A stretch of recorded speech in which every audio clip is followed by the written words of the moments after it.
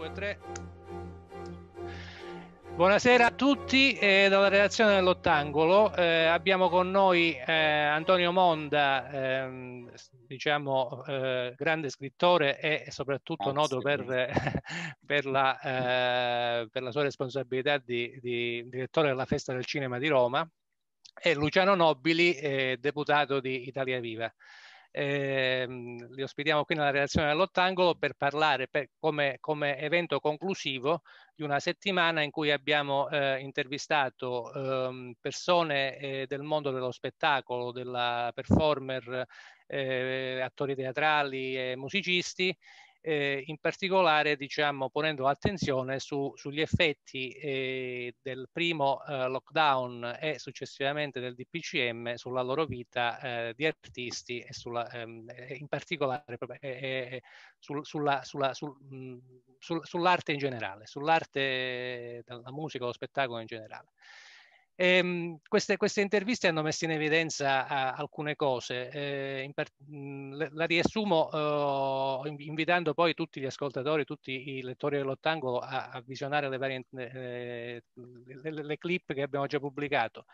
Ma diciamo che eh, sono, sono, sorte eh, alcune, alcune, domande, alcune istanze da parte di queste, eh, di queste persone che mh, riassumo, oh, riassumo brevemente. Diciamo, la prima abbastanza comune a tutti è, è, è lo stranimento sul perché diciamo, ehm, è, stato subito, eh, è stata subita una seconda chiusura quando si è lavorato tanto diciamo, nella, eh, nella fase post, eh, post, lockdown per adeguare strutture, per adeguare procedure, policy, eccetera, in maniera tale da, da assicurare la, la massima sicurezza a tutti gli spettatori e come conferma anche diciamo, il report dell'Agis, il, eh, il numero di contagiati è, è, infinitamente basso rispetto ad altre realtà.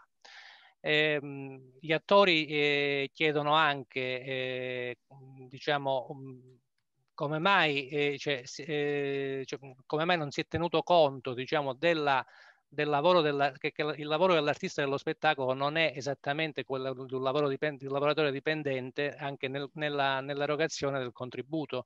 Eh, sappiamo che eh, il contributo è stato dato a chi aveva raggiunto un certo numero di giornate l'anno precedente, eh, ma questo diciamo, per un attore, per un professionista del cinema, dello spettacolo, eccetera, non ha, un, non ha una, un valore assoluto in quanto è un lavoro quello che viene distribuito su più anni e può capitare in maniera assolutamente legittima che un anno una, una, una, un artista sia completamente fermo mm. e, e, non per questo diciamo, deve essere escluso da, da, un contributo l'anno successivo, da un, da un contributo d'emergenza. Diciamo.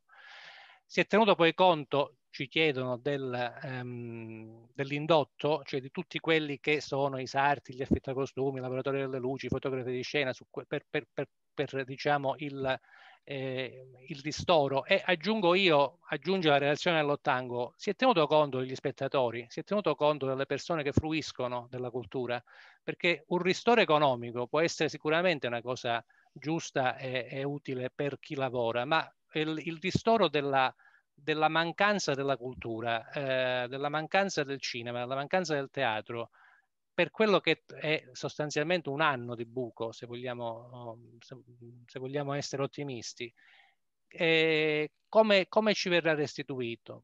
E proprio su questo punto diciamo che eh, inizio uh, questa, questa, questa intervista ad Antonio, ad Antonio Monda, chiedendogli innanzitutto come eh, come impatterà, come ha impattato il, lockdown, il primo lockdown e il secondo, la seconda chiusura sulla, eh, sul cinema eh, in particolare, perché è, l'arte che lui chiaramente eh, conosce meglio, ma sulla, su tutta, su tutta uh, l'area del cinema e del teatro, se c'è effettivamente questo, un anno perso, in questa, eh, un buco di un anno, e come lo recupereremo. Innanzitutto grazie e un saluto a tutti. Eh, io parto dalla mia esperienza americana prima di parlare dell'esperienza molto recente della Festa del Cinema di Roma. Eh, ci troviamo in una situazione tragica a livello mondiale, questo è inutile dirlo, eh, anche se eh, bisogna ricordare le centinaia di migliaia di morti, milioni di contagiati, eccetera. Il discorso, il dilemma, e credo che mi riferisco soprattutto a Luciano Nobili, sia salute verso libertà. Ecco, eh, prima ancora che economia.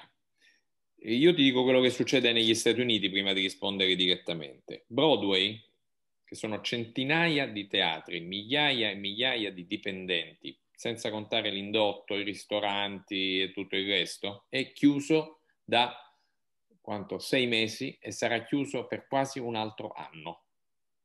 Broadway, cioè il posto più mm. famoso al mondo dove si fa teatro. Steven Spielberg, il più potente, forse anche più grande regista del mondo, fa un remake di West Side Story e lo sposta di un anno. Doveva uscire, lo so perché ho cercato di portarlo alla festa del cinema, questo Natale uscirà il prossimo Natale. Ammesso che il prossimo Natale saremo in condizioni di andare al cinema. Questa è la situazione catastrofica a livello mondiale. Quindi le chiusure di cinema, teatri e altre forme di intrattenimento, per carità, straordinarie della quali sentiamo la mancanza, non sono una questione italiana, sono una questione mondiale. La domanda che bisogna porsi è come facciamo? È più importante stare in sanità, in salute in questo momento oppure ci sono delle scelte discutibili da parte di ogni singolo governo, in particolare del nostro, e qui immagino che Luciano abbia molto da dire. Entro adesso nel merito e poi lascio la parola a lui e a chi vorrà intervenire. Eh, si è non solo perso un anno, ma si è cambiato drasticamente la fruizione degli spettacoli. Abbiamo visto tutti molte più serie televisive, abbiamo visto più Netflix e tante altre cose. Alcuni film sono passati direttamente sul, sulla piattaforma. Io ho chiuso la festa del cinema 4-5 giorni fa con Cosa sarà di Francesco Bruni, un film um, tra l'altro molto riuscito dove racconta la sua tragica esperienza di ammalato di tumore dalla quale fortunatamente è uscito io per fargli un regalo ho fatto un'eccezione, ho detto mh, mm, eccezionalmente ti consento, vi consentiamo di andare in, nelle sale la stessa sera, quella stessa sera le sale sono state chiuse, chissà per quanto tempo. Quindi questa è la situazione generale. Chiudo con un'ultima osservazione. Io sono il primo a voler andare al cinema, a voler andare al teatro, a voler andare a vedere l'opera lirica, a voler vedere tutte queste cose.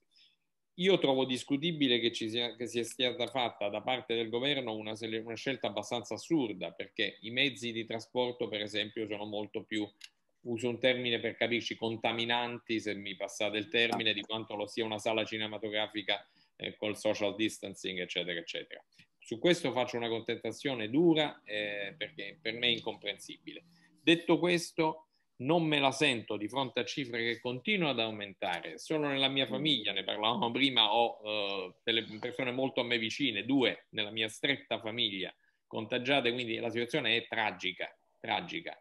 Uh, si poteva indirizzare meglio alcune indicazioni, però non si può partire se non da questo presupposto. Salute prima ancora di libertà.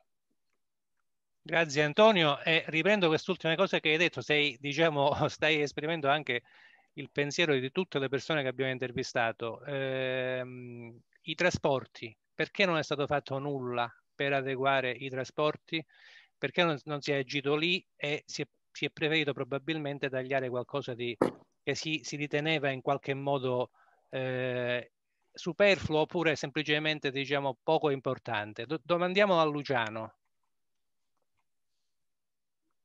Eh, Luciano, non, eh, hai l'audio spento, non so se... Ecco, adesso mi sentite, non l'ho spento sì, per non disturbare sì, ovviamente.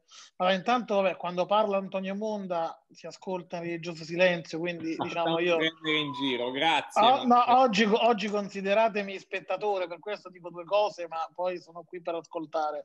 E, e detto questo, intanto Antonio Monda, vabbè, merita la gratitudine di, di tutti noi romani e italiani per due ragioni. La prima da romano perché devo dire ha svolto in, questi, in questo recente periodo, in questi anni in cui ha avuto la responsabilità e spero che continuerà ad avercela se, se ne avrà voglia, un, un ottimo lavoro eh, davvero alla festa del cinema di Roma, Grazie. peraltro in anni complicati per la città, perché sono anni complicati per la città e in particolare in anni complicati per tutti, perché quest'ultimo eh, lo è stato per tutti.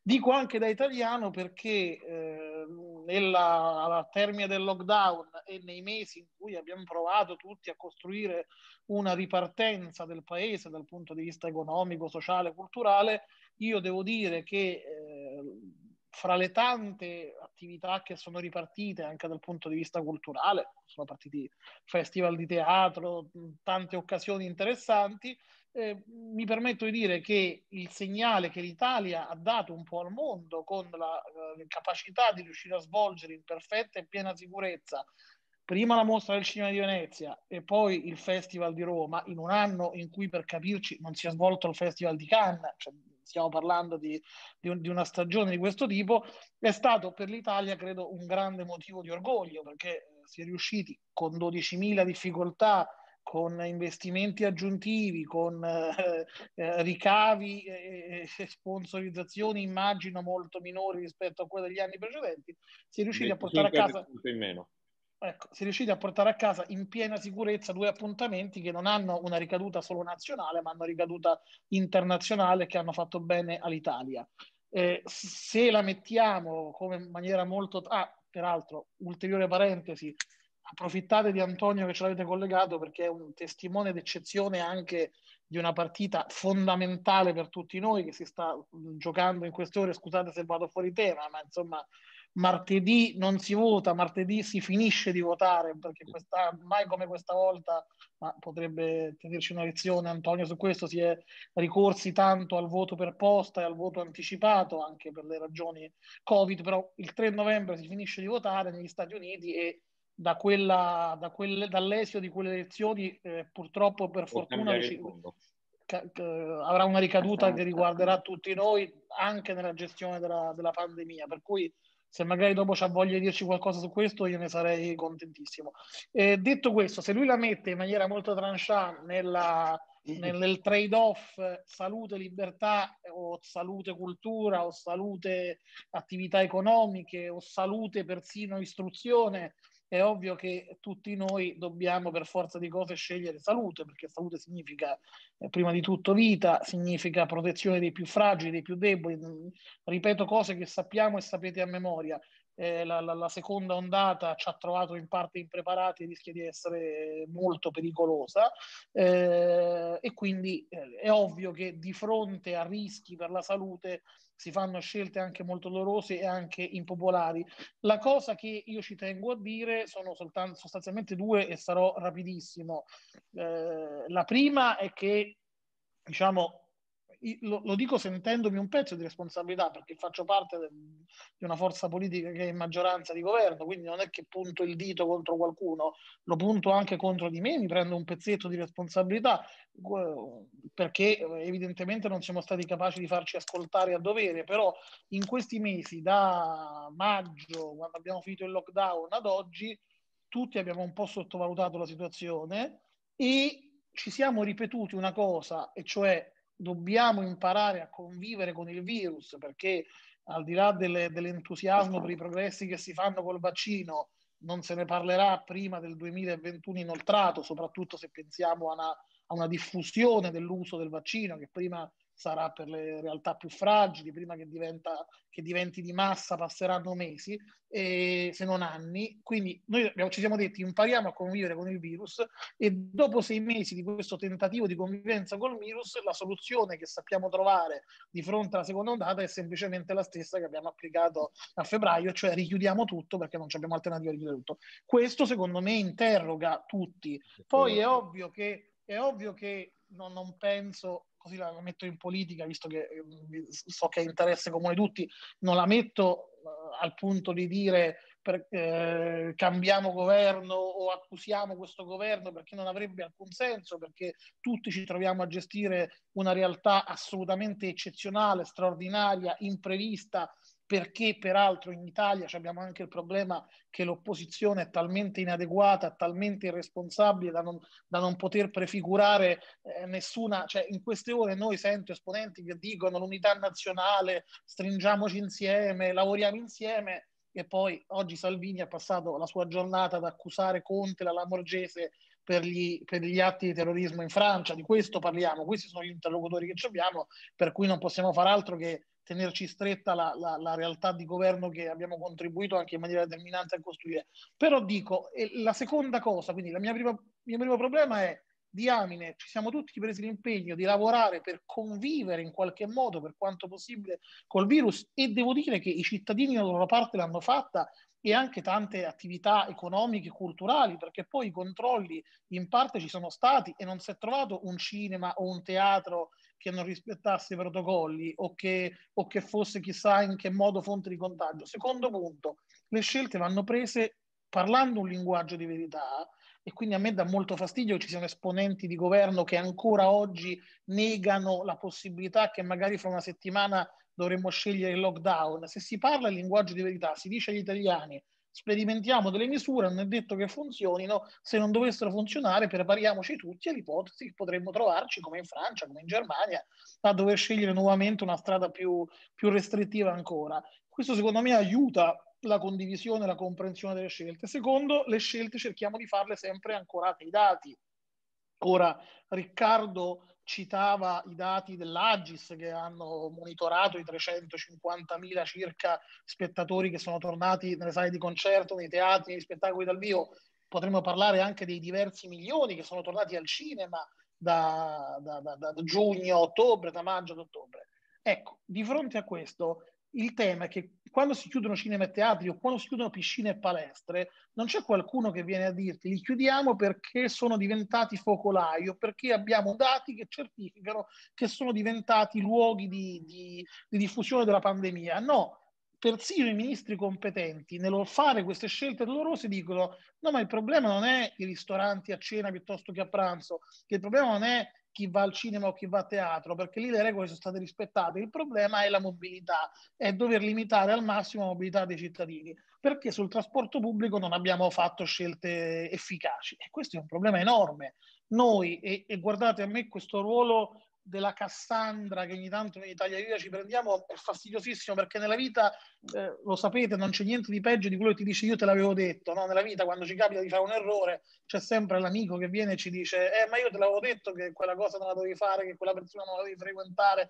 Mi permette un'indicazione lo... dopo su questo. Eh, e, e, quanto lo detestiamo quell'amico che ci viene a dire io te l'avevo detto, lo detestiamo perché è un ruolo assolutamente antipatico, quindi a me non piace, io preferirei che ci ascoltassero un pochino prima, però noi sono mesi, io l'ho ricordato al Premier Conte del question time mercoledì o giovedì l'ho ricordato in maniera ancora più pressante, poi mi dispiace perché non voglio puntare il dito contro nessuno con la ministra De Micheli, però diamine, noi sono mesi che diciamo al governo c'è bisogno di intervenire sul TPL, è la principale fonte di contagio, non possiamo dire non basta dire abbiamo le stime dell'INAIL che ci dicono che viene rispettata la, la capienza dell'80%, perché basta scendere in strada, uscire ogni tanto dai palazzi, prendere la metropolitana o il bus o i treni regionali all'ora di punta e vedere che c'erano degli assembramenti assolutamente incompatibili con qualsiasi delle precauzioni che abbiamo chiesto a ristoratori, gestori di cinema, gestori di piscine, gestori di palestre. E questo non è inaccettabile, è successo per mille ragioni.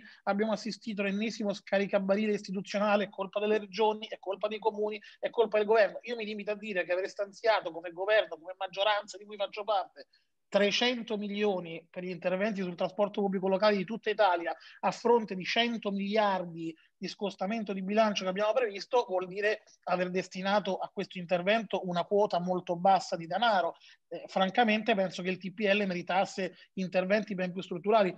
Poi si sommano, e la, e la chiudo perché ho parlato fin troppo, si sommano anche a volte resistenze ideologiche, perché così tanto siamo tra amici, ce lo possiamo dire. Se le regioni e i comuni non, hanno, non ci hanno dato ascolto e il governo non ha pressato perché ci dessero ascolto, ad esempio, sulla possibilità di utilizzare in queste settimane, in questi mesi, le centinaia e le migliaia di mezzi del trasporto turistico bloccate nei depositi. Pensate a Flixbus o pensate alle tante aziende locali e regionali che fanno le gite scolastiche, che fanno i viaggi per, le, per, per, per i centri anziani, eh, che fanno il turismo. Ci sono migliaia di, di, di strutture, anche aziende piccole, locali, che fanno questo tipo di lavoro. Noi abbiamo detto, ma invece di pagare la cassa integrazione ai dipendenti e tenere i mezzi fermi, eh, prendiamoli, utilizziamoli come supporto al trasporto pubblico locale in questi mesi della pandemia. Se non si è fatto, non è solo perché non si sono stanziate abbastanza risorse, ma anche perché c'è una resistenza ideologica, perché qualcuno ha pensato,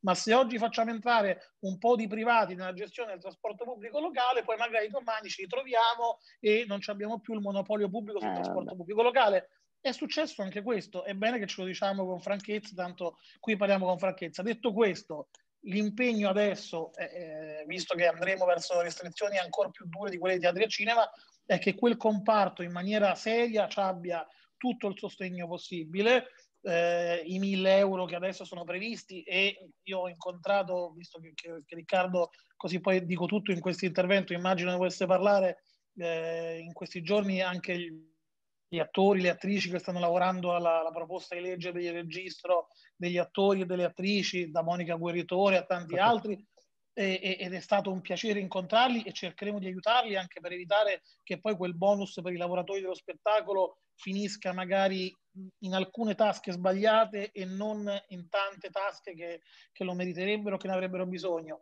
però dobbiamo fare in modo il prima possibile di uscirne e il prima possibile di, di, consentire a tutto questo comparto che si era rimesso in piedi, pensate alle produzioni cinematografiche che grazie a Dio erano ripartite e che speriamo che almeno da quel punto di vista si possa andare avanti, anche perché il dolore di alcuni autori o di alcuni artisti che amiamo, adesso eh, Antonio citava Francesco Bruni, che, che, è anche un caro amico, oltre che un regista che, che amo molto, che si è trovato lo, a dover aspettare alcuni mesi per l'uscita del film, finalmente avere il riscatto di vederlo finalmente uscire anche col, col, con l'onore che Antonio gli ha fatto di fargli chiudere il Festival del Cinema, la Festa del Cinema di Roma e poi trovarselo chiuso il giorno dell'uscita in sala, immagino che sia un dolore. Però guardate, questo dello spettacolo, della cultura, dell'arte è un comparto più di ogni altro che non, in, non riguarda solo le 500-600 mila persone in Italia che ci lavorano, è veramente una cosa che ha a che fare con la vita di tutti noi certo. e che è prezioso soprattutto in un momento difficile come questo. Mi taccio. Grazie Luciano, tu hai anticipato anche la domanda che volevo farti sull'albo del, ehm, dei professionisti, quindi eh, passo la parola a Nerina che mi aveva chiesto lo spazio per una domanda eh, e poi magari chiudiamo con Antonio sulle elezioni americane che effettivamente... Ne parlo molto volentieri. Scusami Nerina se ti interrompo, sono felicissimo di continuare a parlare, purtroppo fra un quarto d'ora devo, devo andare. Cinque minuti, meno, meno, di un Voglio quarto d'ora. Per evitare di essere scortese in, al, improvviso. No, no, tranquillo, cinque minuti e chiudiamo perché anche Luciano ha un impegno subito dopo, quindi anzi vi ringraziamo per la disponibilità grande che avete dato. Allora, io velocemente due cose. Eh, una, una, più che una domanda, eh, Luciano, ma so che Italia Viva è tutta impegnata in questo senso, a sottrarre, eh, cerchiamo di sottrarre le persone a questo sentimento di precarietà continua. Cioè uno dei drammi che stiamo vivendo sono le toppe, no? Eh, che si mettono per 20 giorni, per 30 giorni, quando in realtà questa è una situazione che ci porteremo avanti a lungo e quindi abbiamo bisogno di visioni di lungo termine. I parlamentari di Televiva questa cosa in questi giorni l'hanno detta in tutte le lingue, però veramente cerchiamo di farne una priorità perché io credo che la, la fragilità derivi molto anche dal dover ridefinire continuamente lo spazio esistenziale. Quindi la richiesta dell'ottangolo alla politica credo che vada in questo senso. Invece ad Antonio ehm, volevo eh, proporre una cosa concreta. Allora, l'altro bacino grande di intervento tuo culturale sono le conversazioni, che sono un evento che ha oramai una storia consolidata, eh, che collega realtà anche culturali molto diverse eh, come dire, ha attuazione in più nazioni, ospita delle voci interessantissime. Dato che molto probabilmente tanto avverrà da remoto, e dato che le conversazioni nascono per una contaminazione forte di tipo proprio culturale, sentimentale, no? Cioè c'è un contenuto che non è un contenuto da accademia, è un contenuto eh, molto spesso, eh, esattamente, fra filosofico ed esistenziale. Noi stiamo assistendo a delle cose gravissime. Cito l'articolo di Ichino che è stato veramente credo il punto più basso di espressione, mi esprimo a livello assolutamente personale, eh, proponendo sul foglio eh, una sorta di separazione netta fra anziani e giovani, no? a tutela degli anziani. Quindi andando verso delle dimensioni esistenziali paradossali, io credo che la libertà eh, sia un fatto fondamentale quanto la salute. Un anziano qui viene negato un bar sotto casa è un anziano che muore un pochino di qualcos'altro, no? Che non... Allora, le conversazioni cosa possono fare contro questa deprivazione allora, sentimentale? Grazie. Allora, innanzitutto Vai. mi permetti di fare un piccolo passo indietro perché non vorrei essere apparso un po' manicheo quando parlavo di libertà e salute. E ringrazio anzi Luciano di aver elaborato un po' il principio che avevo lanciato lì forse con troppa, come dire, un colpo d'accetta. Ma quello che cercavo di dire è che ci abbiamo, lo vedo, basta vedere quello che succede in ogni parte del mondo, a un inasprimento, a un indurimento di questa situazione. Temiamo un completo lockdown in tanti paesi, forse anche nel nostro. Quindi mi risultano incomprensibili da un lato alcune, alcune scelte governative, questo sì e questo no, e citavo i, i, i viaggi, insomma, gli spostamenti, e eh, parallelamente dicevo, è un dramma quello che succede alla cultura, hai ragione Nerina, hai ragione certamente Luciano, è una, una tragedia, non solo da un punto di vista eh, economico, cioè i lavoratori dello spettacolo, ma soprattutto de, per la linfa vitale che è la cultura per tutti noi. Temo che in questo momento sia inevitabile, questo è il punto. Anche se le cifre che avete offerto, io non le conoscevo, le ho lette ieri, 350.000 se non sbaglio con una sola persona contagiata, sono abbastanza, parlano da sé, quindi rimane incomprensibile che si chiuda lì e si tengono aperti i treni o comunque si possa consentire, posso anche aggiungere, io credo che il nostro paese sia passato con troppa facilità e senza soluzione di continuità dal lockdown completo alle discoteche e alle spiagge eh, questo forse l'abbiamo pagato, lo stiamo continuando a pagare. Mi spiegherà Luciano perché la lobby delle discoteche e dei, dei bagnetti, non so come chiamarlo, degli esercenti delle, delle, delle come si chiama, insomma, delle spiagge sia così potente da poter ottenere quello, ma lo dico non provocatoriamente, non lo so, non lo capisco. Questo per fare una piccola premessa. Poi, Le Conversazioni è un festival che nasce 15 anni fa, anzi sta arrivando il sedicesimo anno. Nel lockdown ci siamo inventati una cosa, forse ne siete tutti vittime, abbiamo perché siete nella mia broadcast list, noi abbiamo chiesto a 170 grandi personalità, all'inizio erano solo scrittori, infatti il progetto si chiama Writers on Writers, ma poi si sono aggiunti registi, attori, attrici, eccetera, eccetera, di leggere un brano letterario. Credo che sia uno degli eventi culturali, non voglio dire più interessanti perché sembra elogiarsi, comunque che si nota in questo momento, anche perché fatto con due lire, e questa è una cosa che eh, lo dico non per vantarmi ma come esempio, cioè si possono fare delle volte in situazioni di, di costrizione delle cose anche che funzionano e soprattutto in uh, con solidarietà, cioè tutti hanno voluto partecipare, giocare, perché siamo mo- sempre antiaccademici in tutto quello che facciamo. Cosa facciamo? L'anno prossimo cerchiamo di avere il festival eh, il più possibile normalmente. Anche quest'anno l'abbiamo avuto il più possibile normalmente. Sì, abbiamo perso gli eventi di maggio e giugno a New York, però abbiamo fatto Capri come ogni anno, anche se ad agosto e non solo a giugno. E l'abbiamo fatto ovviamente con, solo con ospiti italiani, perché era impossibile far vedere gli ospiti già invitati dall'America, l'Inghilterra e la Francia. Eh, Spero di aver risposto su questo, siccome mi avete anticipato una cosa sugli Stati Uniti, mi prendo due minuti ancora per dirvi qualcosa. Eh, l'ho un po' anticipato, Luciano, non ti te la prendere, nei primi minuti abbiamo chiacchierato un po' di questo. Ah, ti Io interrompo sono... per dirti che, che, che, mi devi una citazione, mi hai promesso una citazione. Ah sì, sulla... hai ragione, te la do ah. subito. È del gatto pardo. C'è un certo punto che Tomasi di Lampedusa dice di, del principe Salino, Salina, eh, cadde nella più umana delle tentazioni, quelle di dire io l'avevo detto. Ah. E, dunque, ritornando invece a noi, io stamattina sono andato a fare, sono arrivato tre giorni fa, quindi mi sveglio prestissimo, alle 5, alle 4, l'early vote che si può fare dalle 7 del mattino. Sapete tutti cos'è l'early vote, non ve lo devo spiegare è un boom mostruoso, pare un'ottantina di milioni di persone hanno già votato, è più del doppio delle altre elezioni, è un segnale buono per chi è di fede democratica perché gran parte sono iscritti democratici. Ebbene, sono andato e me ne sono ritornato a casa perché ho sbagliato il seggio, perché nell'early vote non si va nel seggio regolare, quello vicino casa, dove si va sempre, che poi è una scuola, eh, come, come, quasi sempre nel mio caso, ma si deve andare un posto lontanissimo, ci ho rinunciato, voterò come tutti, come tutti, come gran parte dei cittadini martedì. Cambia il mondo martedì, comunque vada. Io mi auguro nella direzione giusta, eh, mi auguro che sia un momento di liberazione da questo personaggio agghiacciante che governa questo paese da quattro anni, al quale tuttavia vanno riconosciute alcune cose. Un intuito politico indubbio, un suo talento in qualche modo, una sua abilità, il fatto di aver sconfitto prima il suo partito e poi l'altro partito, Eh, e un altro dato, eh, aver messo al centro dell'attenzione il conflitto reale, reale eh, con la Cina. Detto questo, l'ha fatto nella maniera più barbara, più volgare, più violenta, più inaccettabile, più intollerabile, più pericolosa possibile. Non sto facendo gli elogi, sto solo dicendo che lui ha intuito una cosa e poi l'ha gestita malissimo perché l'uomo è quello che è. Vincerà?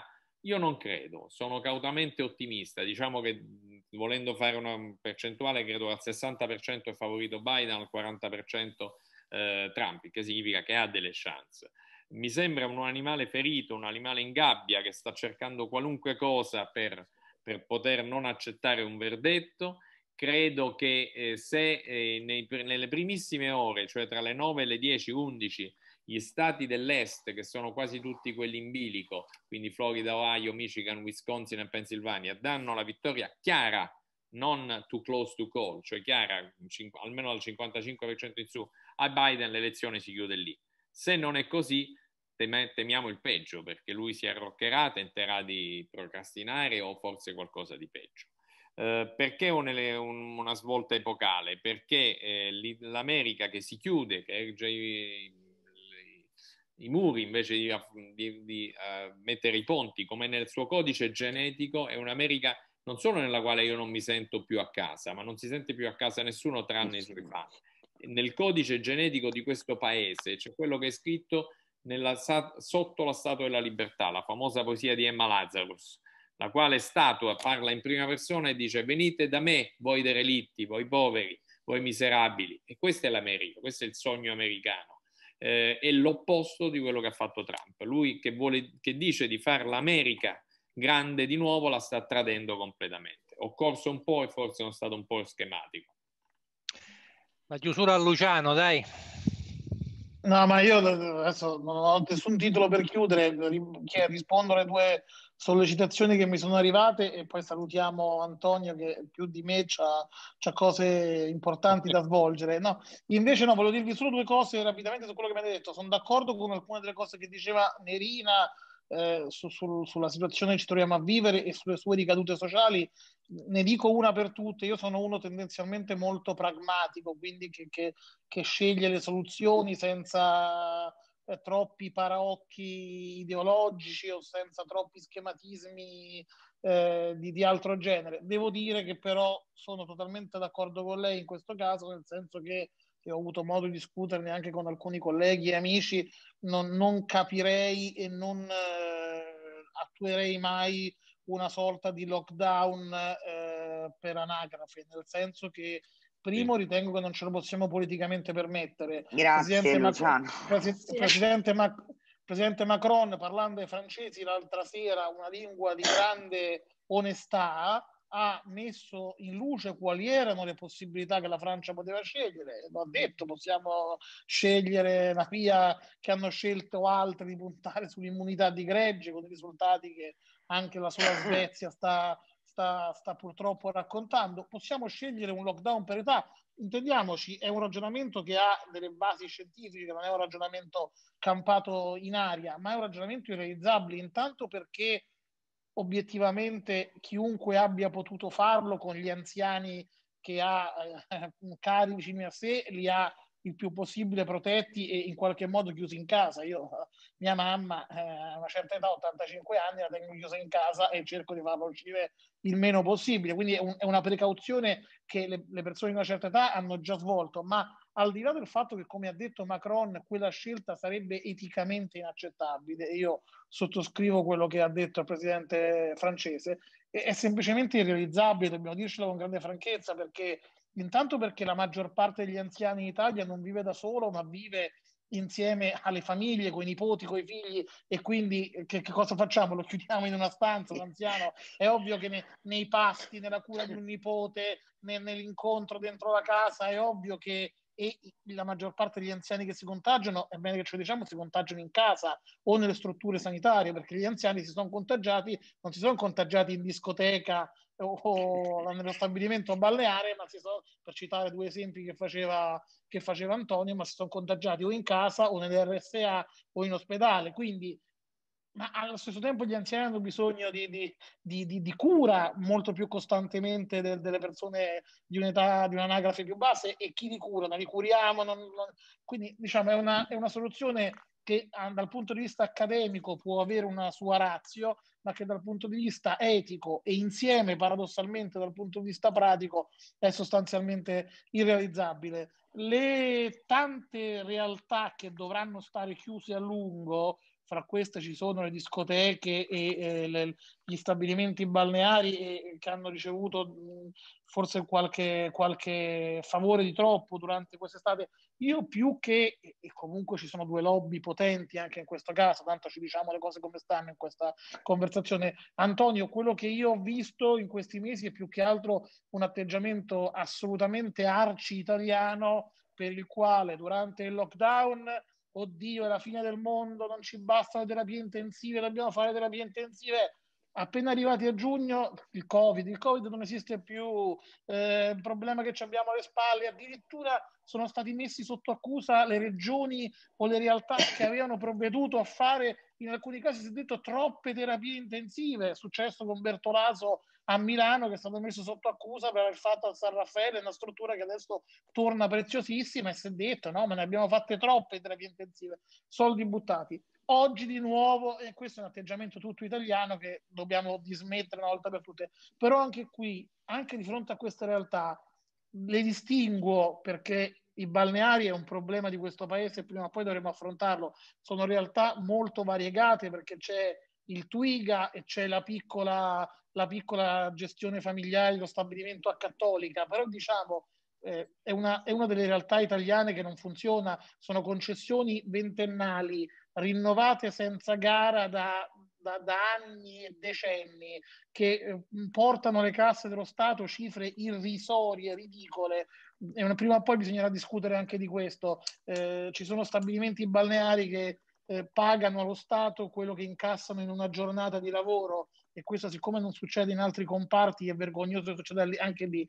Sulle discoteche, e, e, e chiudo su questo, che sono alcune delle realtà che veramente non, non, sappiamo quando potranno riaprire. Anche lì, però, siccome c'è gente che ci lavora ed è legittimo che ci si lavori perché non è certo un settore illegale, l'importante è che lo, stadio, lo Stato dia garanzie e dia una prospettiva minima, perché questo è il tema. Quando tu hai persone che lavorano in tanti comparti e che non ricevono una cassa integrazione da aprile o da maggio, è quello, il, il paese non, non, ti capisce più, non finisce per non capirti se non sei in grado di far fronte. Mi taccio e vi ringrazio per questo piacevole appuntamento. Allora, io ringrazio tutti a nome dell'Ottangolo e do appuntamento alla settimana prossima in cui cominceremo delle interviste con esercenti e, e, con, e con, professionisti e avremo come al solito alla fine della settimana una, un'intervista con il mondo della politica. Grazie a tutti e, buona, e buon fine. Grazie. Teniamoci, stretti, teniamoci stretti che il vento è forte. L'Italia è sempre nel cuore, lo vedi Pulcinella, sì. Stretti nei limiti, nei limiti del distanziamento, però. Stretti idealmente. Ciao grazie a tutti. A tutti. Ciao, ciao, ciao, e grazie. Grazie. Grazie. Grazie. Ok, chiudo la registrazione.